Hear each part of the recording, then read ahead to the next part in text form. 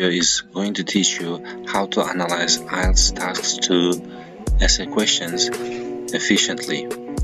Ushbu video sizga IELTS task 2 da savolni qanday qilib analiz qilish kerakligini samarali o'rgatishga harakat qiladi. Qani boshladik.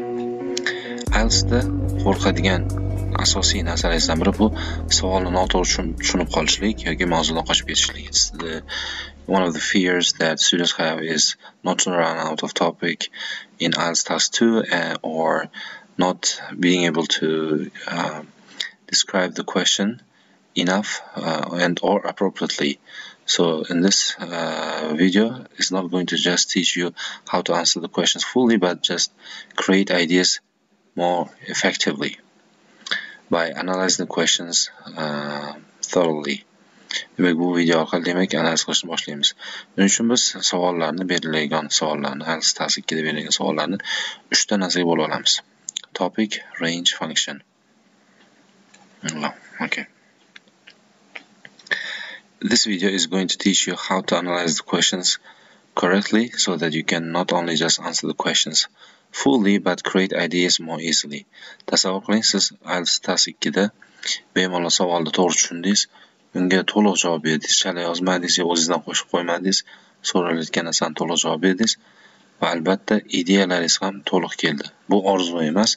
Buning uchun bor yo'g'i 3 ta narsani bilsangiz bo'ldi. Mana shu videoni oxirigacha ko'rib, misollari bilan isbotlab berishga harakat qilaman. Ko'rsangiz ishonchingiz komil bo'ladi. You just have to learn three things. What are they? Birinchisi, demak, savolni mavzusi, topik. Savolni range, ko'lami, qaysi darajagacha gapirishi, oxirgisi, oxirgisi funksiyasi. Demak, sizdan so'ralayotgan aniq bir narsasi. Masalan, essay question generally has three parts. The topic, introducing the theme, central idea for writing task. range focusing on some aspects of the topic limiting the central idea demak o'sha topikni endi ba'zi bir qismini some aspects ba'zi bir qismlarinigina gapirsa unda nima bo'ladi? Mana shu qismi range bo'ladi. Demak limit qilsa mavzuni central ideani limit qiladigan bo'lsa o'sha range bo'ladi ko'lami bo'ladi. Mavzuni qaysi tarafni gapirishingiz kerak? Function question type savol turini bildiruvchi qismi esa bu funksiyasi. Specifying the questions and what function to use. Discuss both these views and give your opinion. Deydimi to what extent do you agree disagree deydimi how far do you agree or disagree with these views? Deydimi va hokazo mana shulari uh, demak savolni uchinchi qismi bo'lmish. Nimasi funksiyasi bo'ladi. Chunki unda qaysi funksiyani ishlatishingizni eslatib turadi. Savolni nima maxsus uh, turini ko'rsatib turadi. Misollar bilan ko'rsataman. Ambition. Demak uh, ambition is a negative attribute of a person's character. Do you agree or disagree with this statement? Ambition orzu istak uh, hirs orzular bu kishini xarakteridagi salbiy narsadir do you agree or disagree with this statement? Bu fikr bilan qo'shilasizmi yo'qmi deyapti mana ko'rib turibsiz mana shu yerda ambition bu topik bo'ladi. Uni qaysi qismini gapiraylik topikni ya'ni ambitionni aynan negativ kishini xarakterida negativmi yo'qmi mana shu tarafni gapiring deyapti. Hop mana shu range bo'ladi. Okay uh, do you agree with oh, do you agree with this statement bu function yoki question type nima ekanligini eslatib turadi. Ho'p aytishingiz mumkin mana shu yerda to'xtataylik. Savol. Buni bunaqangi analiz qilishdan nima foyda? Birinchidan ielts introductionda uchta narsani hal qilib qo'ygan bo'lasiz birinchi o'rinda bu introduction. Introduction nima yozishingiz kerakligi aniq mana shu uchtala gapni parafraze qilsangiz bo'ldi parafraze haqida tushunchani esa boshqa videomda parafraze qilish haqidagi videomda va kitobimda keltirib qo'yganman buni telegramda so'rab olishingiz mumkin undan tashqari yana qarang mana savol ambition ekanligini bilsam o'sha mavzuga birinchi gapim bo'ladi general idea bilan boshlayman introductionda birinchi gap demak o'sha topikni yoritishdan boshlanadi humans cannot live without ambition. Deb boshlasam bo'ladi. Keyingi gapimda esa endi faqat ambition orzu va demak general ideada turolmasdan topikni o'zida deymanda.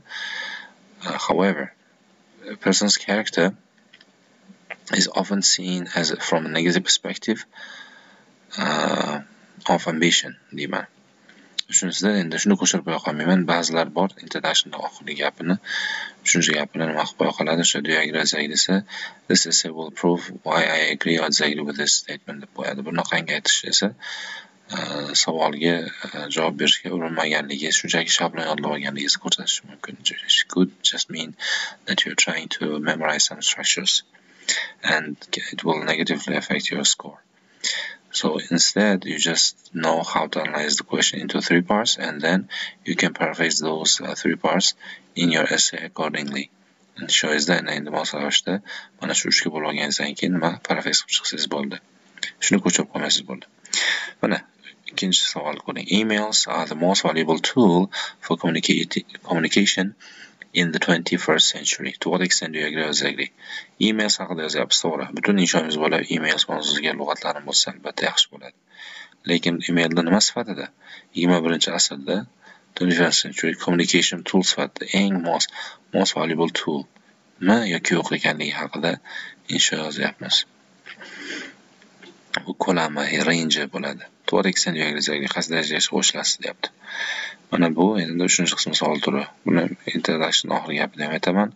Undan tashqari men bodyda ham baribir uchalasini mana buni ham topikni ham range ham function ham aytaman. Shuning uchun uchga bo'lib olish muhim. Faqat introductionda emas, men bodyda ham kerak bo'ladi. Mavzudan qochmaslik uchun ham ideyani keltirib olish uchun ham aynan emailni qaysi tarafini gapirib, emailni qanchalar foyda ekanligini yo faqat communication tarafini va rangeini bilib olganim albatta bu yerda foyda beradi. Advertising is one of the most unpleasant features of modern life. Argue for and against this statement. Mana bo'pti o'zi reklama deyapti. Zamonaviy hayotni qaysi demak reklamani qaysi zamonda gapiryapti? Shu minusdanmi? Yo'q. Advertising emas bu.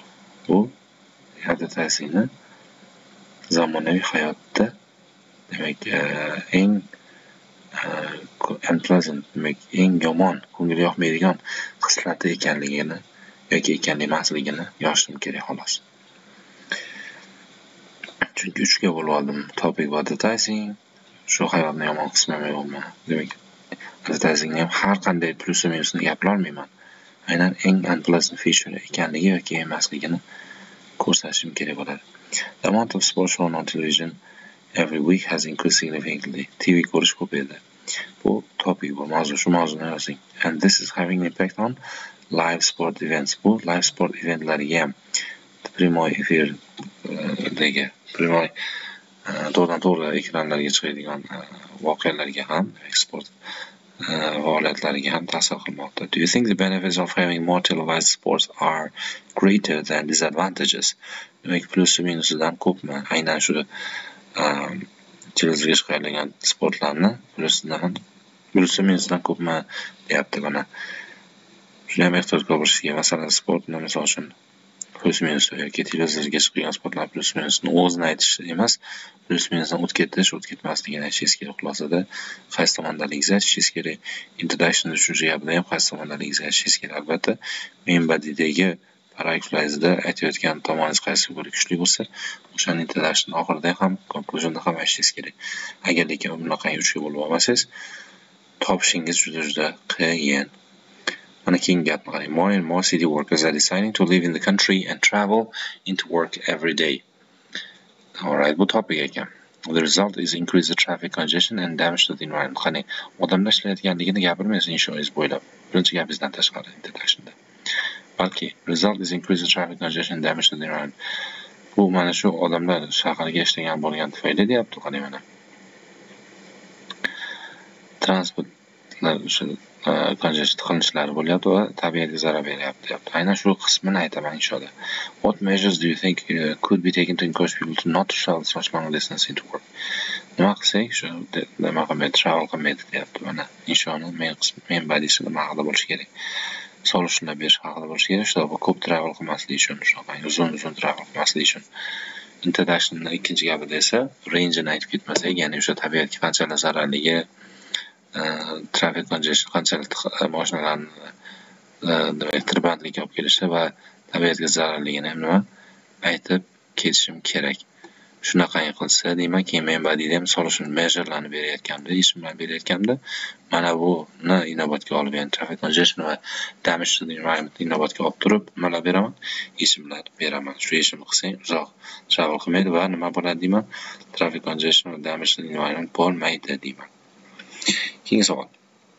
Motorways mashina yo'llari. Help people to travel quickly and cover long distances but they also cause problems. Motorwaylar deyapti. To'g'ri. Motorway topic bu. Odamlar haligi help travel quickly qiladi deyapti. Travel qilishga yordam beradi lekin long distance ko'p masofaga yurishga ham deb lekin nima muammolarga ham sabab bo'ladi deyapti. Men badiiy muammolarni ham aytasan deyapti. Faqat plyus minusni gapirib plyus o'zini gapirib o'tirman what are those problems? O'sha problemalar nimaligini so'rayapti mana qarang men badiiyda problem nimaligi va yechim nimaligini aytaman. Uchga bo'lib olganim yana ko'rib turibsizlar savol yaxshi bo'lyapti. Agar uni o'rniga imagine if I had just uh, explain what motorways are you know generally. Motorway nima ekanligi insoniyatga foydalarini aytadigan bo'lsam hozir mavzudan qochgan bo'laman. Topiga to'g'ri lekin nima range u qanday shu uzoq yo'llarga va tez travel qilishga yordam bergan bo'lsa ham qaysi muammolarni olib kelib chiqaryapti shuni aytish o'rniga man boshqa narsalarni aytyapman o'rniga muammoni aytib yechimini aytishim kerak edi oxirgi savol turi In today's competitive world, many families find it necessary for parents to go out to work. Topic hozirgi zamonaviy dunyo demak competitive world ekanligini aytishim kerak qayerdadir. Demak, e, both parents ikkala ota-ona ham nima ishlamoqda deyapti. Mavzu shu. Hop, while some say the children in this family benefit from additional income, to'g'ri. Additional income bo'ladi. Farzandlari additional income foydalanadi deydi. Lekin aslida but others feel they lack support because of their parents' absence. Demak, absence, ota-onasini absence tufayli support bo'lmaydi deyapti. Lack support. Bu nima savolni ko'lami, range, range. Ana endi haqiqiy savol e, maxsus savoli discuss both these views ya'ni haqiqatdan ham plus tomonni ya'ni plusni ham qaysi tomonni aytgan? Additional income'ni aytgan. Yomonni aytayotganingda lack of support aytgan deyapti. Ya'ni give your opinion va o'zingni fikring qaysi tomonda ekanligini deyapti. Mana ko'p do'stlar uchga bo'lib olsam savolni tushunishim aniq bo'ladi idea tezroq keladi. Mavzudan qochmasligim ishonchim komil bo'ladi. Va eng muhimi inshoim hozir sal bo'lsa ham odamiylashadi tezroq insho yozaman you as a result of analyzing and dividing the question into three parts topic range and function. You're going to make sure that you you write ideas uh, clearly. You will that you will not run out of topic. And your overall writing experience will be much more humane much more easier. And you will come up with you know easier answers as well. So good luck with your examination. If you have questions you can find me in telegram